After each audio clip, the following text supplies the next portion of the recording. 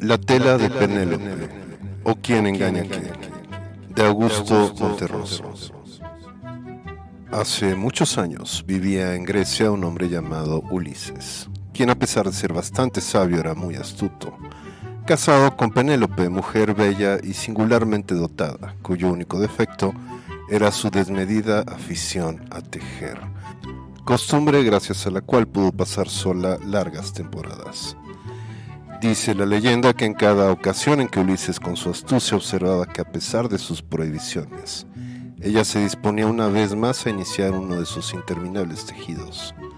Se le podía ver por las noches preparando hurtadillas sus botas y una buena barca, hasta que sin decirle nada se iba a recorrer el mundo y a buscarse a sí mismo.